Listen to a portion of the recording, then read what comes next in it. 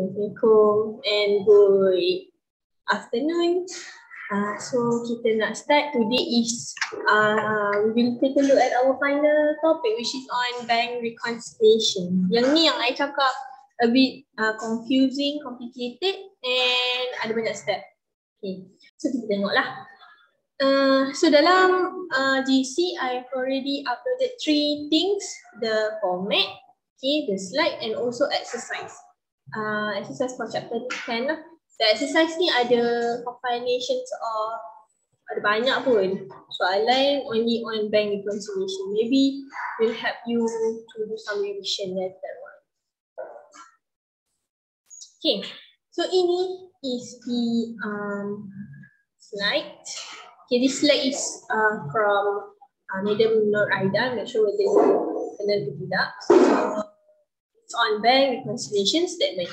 First, kita tengok dulu, kita do some lecture first. Uh, just to make some introduction lah what is bank reconciliation statement and so on. Baru kita tengok macam mana buat dia punya statement. Okay, so the learning objective, oh, kenapa dia pecah macam ni? The learning objective uh, at the end of this chapter, you'll be able to distinguish and explain items appearing in the bank statement and bank account. So basically nanti kat sini, kita akan tengok dua benda, bank statement and also bank account.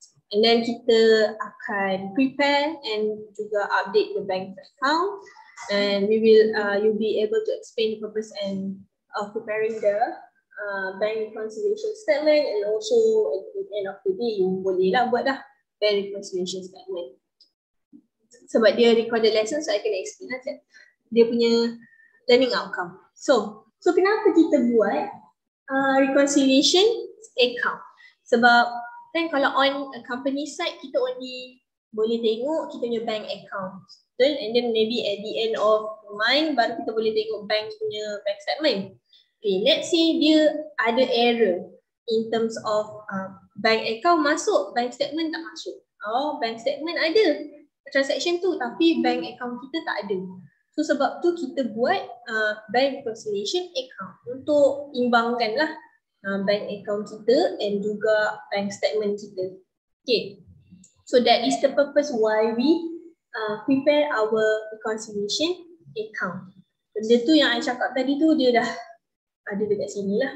Nanti boleh baca. Okay. Tapi dia cakap benda yang I cakap tadi tu dia really happen. Dia bukan selalu pun. So it's really happen.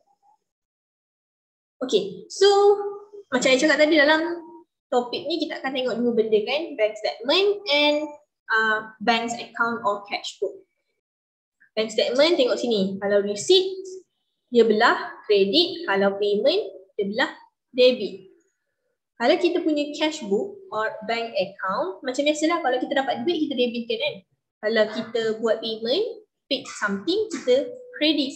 Cumanya on bank statement side, dia macam kontras sikit. Okay. So, itu sahaja. And then, uh, what makes bank statement and cash book balance different? Apa yang menyebabkan kita punya bank account and also bank statement kita tu uh, tak balance, ada kesalahan ke macam yang cakap tadi tu. Dia ada three cases. Okay, the first cases, item have recorded in cash book but not in the bank statement yet. Macam yang cakap tadi lah. Okay, you ada bank statement, eh you ada bank account and you ada uh, bank statement. Dan bila you tengok dalam bank account you ada item tu contoh uh, dividend let's say lah uh, dividend ada dekat bank account but there's no dividend item in bank statement. Okay, that is the first case. Ataupun the second case, item have recorded in bank statement but not in the cash book. So, ini dalam bank statement ada item tu tapi dekat dalam kita punya buku tak ada. Third case, ada error by bank and business itself. Maybe salah kira, salah amount. Okay, ataupun contoh dalam uh, account memang ada dividen dalam kita punya bank account memang ada dividen cuma uh, dia tulis itu 500 bank statement ada dividen tapi 400 let's say so tu dah ada error lah. Kan ada kesalahan. So itulah punya three cases. Okay. so the first case which is um, ada dekat bank account tapi tak ada dekat bank statement. Okay, dia boleh dicategorize as uncredited check and unpresented check. Okay, uncredited check is when business already deposit money into bank account but not appear in bank statement due to the bank not process it yet. So it means um, kita dah debit dalam bank account tapi dia belum kredit dalam bank statement. Okay, maksud dia. Unpresented check, check that is to pay the account payable has recorded in the business book but bank does not do clearance of the account payable but ni kiranya terbalik je lah. Dalam bank account dah credit, dalam bank statement dia belum debit. Okay, ini uh, slide je nanti ada extra notes nanti I show you uh, T account dia belah mana belah mana. Okay. Siapa tu? Ada yang baru masuk ya? Tak apa, tak apa. Welcome. Okay. So itu maksud uncredited check and unpresented check. Later I show you dia dekat belah mana. Okay. Case tu yang when bank statement masuk tapi bank account tak masuk. Ini case tu eh. So it can be uh, direct debit. Ini macam cases dia je lah. Uh, or standing order or bank charge or credit transfer or interest revenue or dishonor check. So ni kira adalah case-case yang probably dalam bank statement masuk tapi dalam bank account tak masuk. Uh, tak payahlah kita nak go through satu-satu. But you know, you just have to know, okay direct debit tu apa maksud dia? Uh, standing order tu apa maksudnya? Okay. Okay, so ah itu saja. Ini format. Okay. Sebab macam saya cakap lah dalam slide ni tak ada sangat apa. So I prepare one notes for you. Kalau I laju, bagi tahu. I rasa terlaju ni. Laju gila kot. Okay. This is a short note to summarize apa yang ada kita dalam slide tadi. Okay. Uh, the objective that is the main thing yang you should know. Okay, what is the objective of bank reconciliation statement? Which is to detect the error from bank side or company side. Bank side tu apa dia? Kalau bank side kita refer to what? Kalau bank side ni? Hmm. Bank statement. And kalau company side? Yeah, cash book which uh, only look at kita punya bank account lah. Okay. uh, itu maksud dia to detect error uh, that come from these two things or these two books. Uh, okay dia ada dua benda. Untuk to prepare your bank reconciliation statement supposedly you have two steps okay? But uh, in your syllabus the first step ni tak ada. Maksudnya tak payah pun nak go through the first step which you have to prepare updated uh, cash book or updated bank account okay? Uh, in your syllabus okay you just have to strictly prepare your bank reconciliation statement Okay, which the format ah kat sini. Format dia ada kat sini. Yes, this one. So previously, uh, during my time lah, you have to prepare adjusted bank account. But um, right now, dia macam nak senangkan you. Tak payah nak buat adjusted bank account and then bank reconciliation pula. So uh, untuk nak senangkan sebab since this topic is only on bank reconciliation statement so memang strictly uh, learn you have to learn how to prepare bank reconciliation uh, statement. Okay. So uh, contoh lah. Contoh soalan. Okay. This is the uh, bank statement. Ini exactly macam mana nanti eh dalam exam. Akan bagi you bank statement. And this one is your bank account. bank account lah. Ha, dia dah tulis kat situ, tulis lagi. Means yang uh, belum adjusted tadi. Means yang memang belum, tak ada salah lah. Okay. So korang kena tengok first thing, the first step is you need to compare debit side of bank statement with credit side of bank account. Ingat tak dalam bank statement kalau dia debit maksudnya receive ke payment? Hmm? Nah, dalam bank statement kalau dia debit dia receive ke payment? Payment. Betul. So kalau dalam bank account, payment kan credit side. And supposedly on credit side ni punya item kena samalah dengan on um, credit side of bank account. Maksudnya debit side of bank statement kena sama dengan credit side of bank account. Okay. Betul. So kalau credit side of bank statement kena sama dengan debit side of bank account. Saya tulis kat sini lah kat ni. Uh, debit bank eh.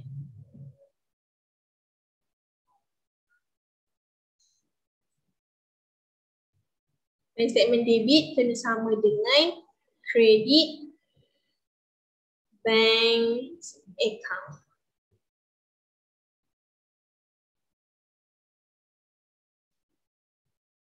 you have to compare like this. So kalau credit of bank statement, kena tengok debit of bank account. Eh? Ini terus tengok example. We know really what is the objective of you preparing bank reconciliation. Kita tengok apa je bank statement and bank account. So sebenarnya kita nak tengok apa yang tersalah ni report. So the first thing you need to know lah, you need to compare this both debit and credit side for bank statement and also bank account. Kita kena detect dulu apa yang salah. Uh, so kejap I buat ni. Macam mana nak detect? First kena tick tick tick. Uh. Eh. Debit, bank statement, tengok credit, bank account. Yang I tick tu, okay, yang I tick tu means ada amount dia dekat dalam bank account. See, RM5, RM5 ada kan? Ha, lagi apa? RM550. Sini ada tak RM550? Although, tengok eh, the item name tu different.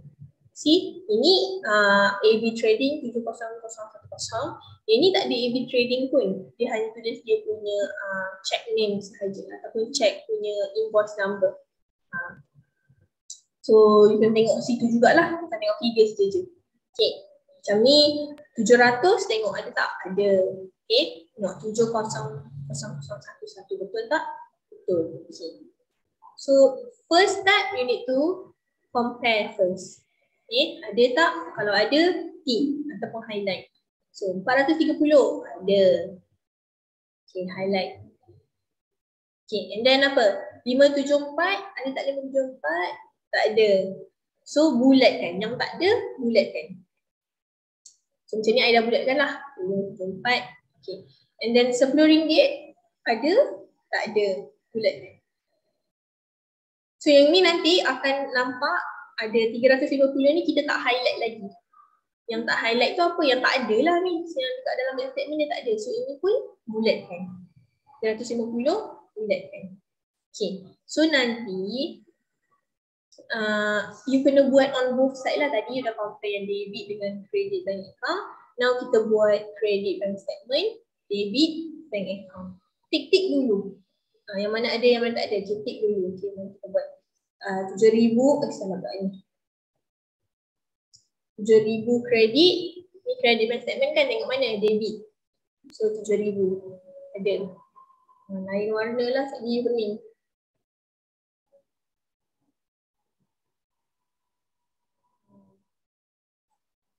ribu ada, tujuh ribu ada, dua ribu lima ratus ada tak? Ada. Okay. Uh, 645 tak ada. Okay, tak ada.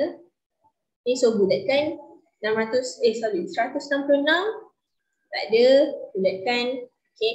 Uh, so yang tak highlight tu is benda yang tak ada lah. Except for balance BD. Balance BD memang um, benda yang macam ni lah sama kan.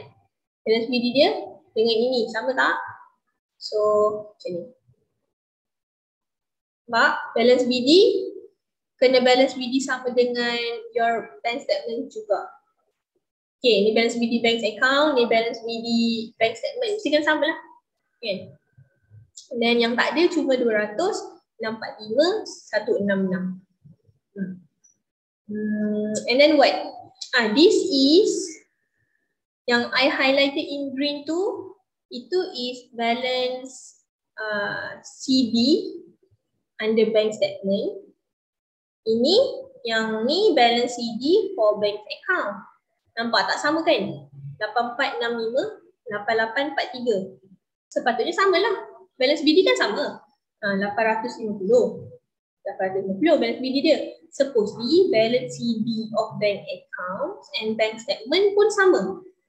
Tapi tak sama. So memang obviously nampak ada error or salah. Kan? So sebab tu I highlight kan in green. Okay. Dah tick dah semua. And then uh, sebab dia tak payah buat adjusted bank accounts kan. So you straightly tengok kita punya format. Okay. But you know already on debit side here is uncredited check. Okay uh, yang uh, credit side of bank account is unpresented check. Itu kena tahu dulu eh. Satu-satu. Okey tak? Nak proceed? Ada soalan? Dia macam banyak info. Apa dia? Sebelah debit, uncredited check. Sebelah kredit, unpresented check. Ini kena tahu sebab nanti nak kena masukkan amount yang you bullet tu dekat mana. Macam laju ni, memang saya rasa saya laju. Yang, yang ni? Ah, bagi.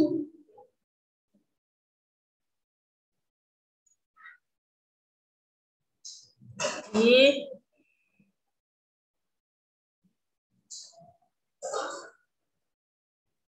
Okay, mari kita buat.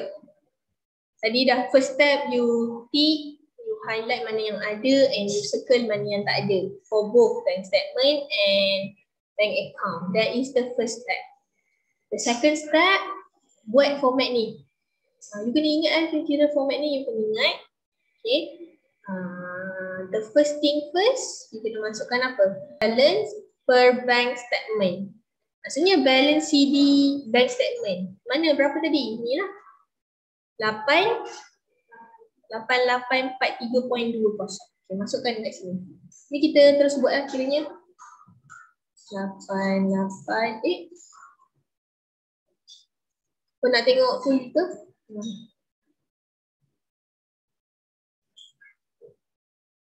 Macam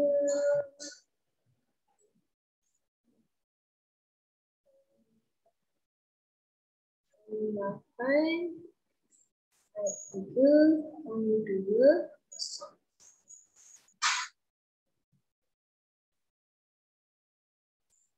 Okay. Dia punya name of the business ini macam ada tu. UITM Bank. Bukan, bukan, bukan. UITM Bank is the name of the bank. Dia tak bagi nama business dia. Kita assume nama dia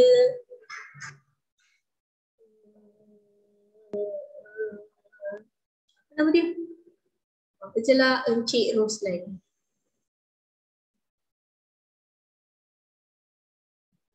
Roslan pula. Encik Roslan and Co. Dot co. And then kita buat bank reconciliation as at. Ini dia habis bila? Uh, kita buat je 30th April 2000 2000. 38 is at 38 April 2000.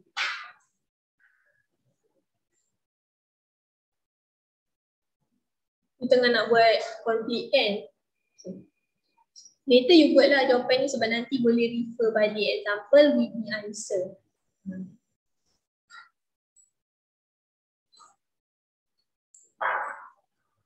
Ini yang kadang. Nanti boleh tengok balik. okay. Okay, dah masukkan dah. First, cash balance per bank statement or balance CD bank statement lah which is this one. Okay, dah masukkan. Kita kena tambah uncredited check. Okay, ada tadi you dah tahu dah dalam bank account. Uncredited check is yang yang ni, yang dah debit ni.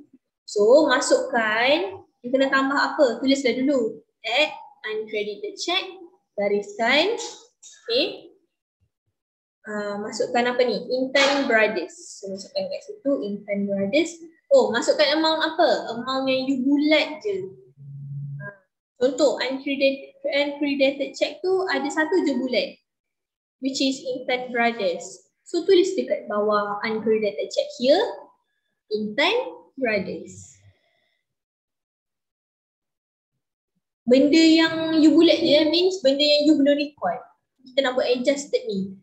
Kita nak adjust dia bagi balance. Ha. Tambah Intan Brothers berapa amount dia? 200.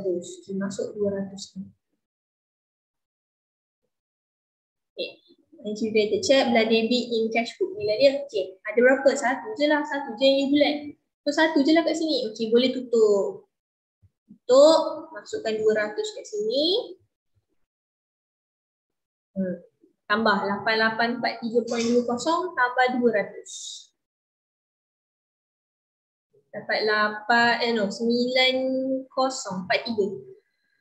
9043.20. Tak bawah garisan lah.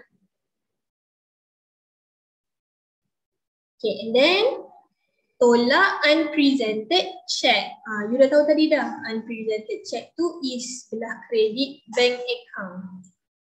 Okay. So benda yang you bulat is will be included under unpresented check ni.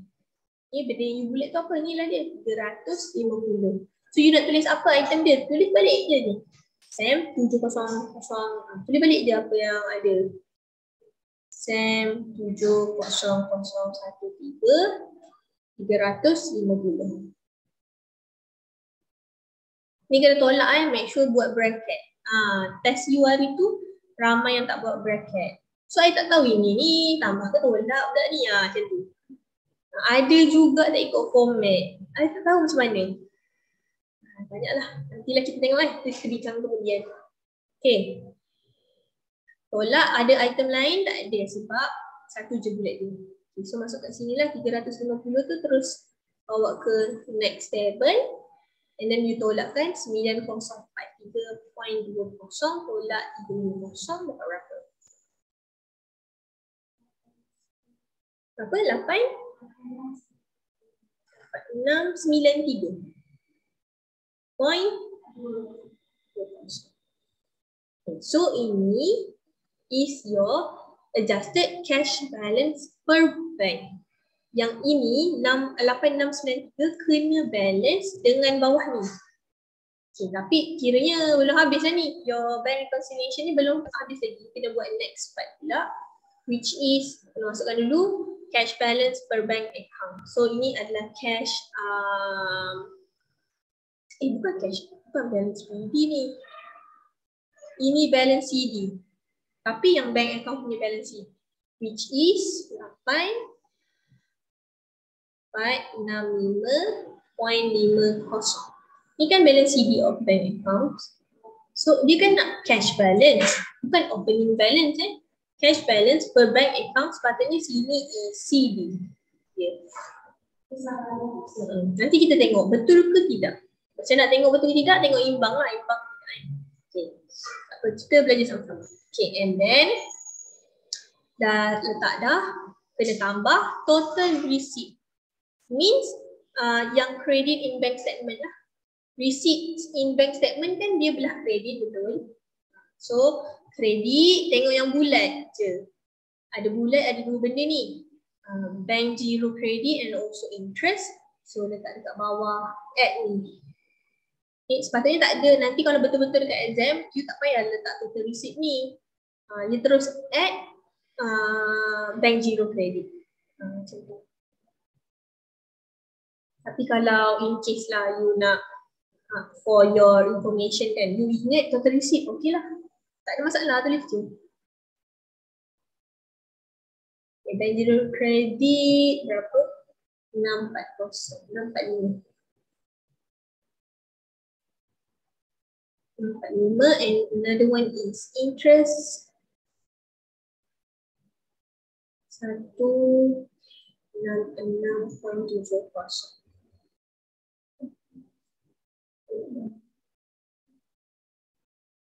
Ada kalkulator tu jam.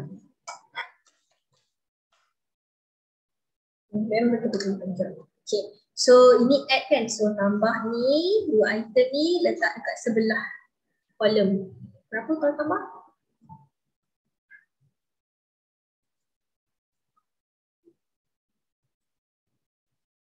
Lapan satu satu point tujuh kosong because ini add so you don't have to do bracket. Tambah 8465.50 tambah 811.70 berapa? 8465.50 sembilan dua tujuh tujuh kosong. Okay, pula habis lagi. Kena tolak pula dengan total payment. Okay, means ini tadi kan yang atas side ni, yang side atas ni kita tengok bank account.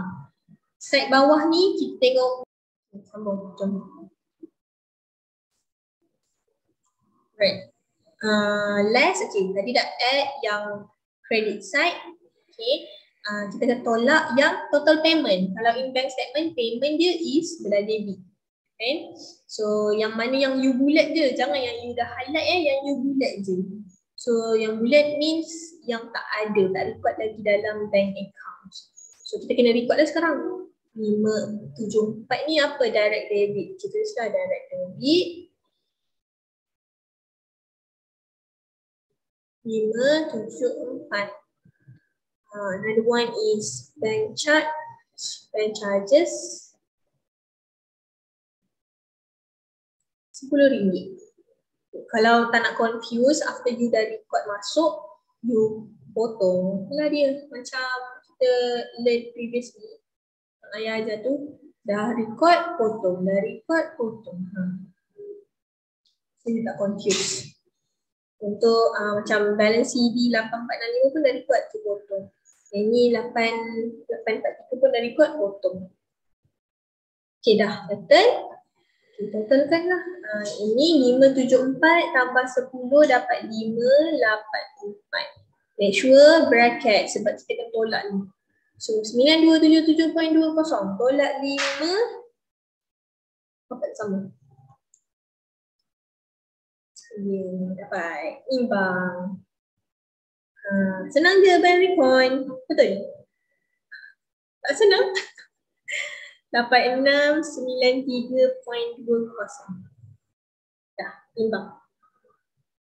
So benda ni uh, macam ni je lah cara nak buat dia. Uh, sebab tu yang dalam lecture yang slide tu I macam banyak skip per sikit lah macam laju sikit sebab benda yang utama is how you want to prepare this one. Kan? But the thing is you need to know uh, the objective of us preparing bank reconciliation. Okay? Sebab tak sama sebab apa tu balance CD of bank statement dengan balance CD of bank account kita tak sama. Supposedly kena sama. So sebab tu kita kena buat adjusted which macam mana nak buat tu uh, based on bank reconciliation. Okay.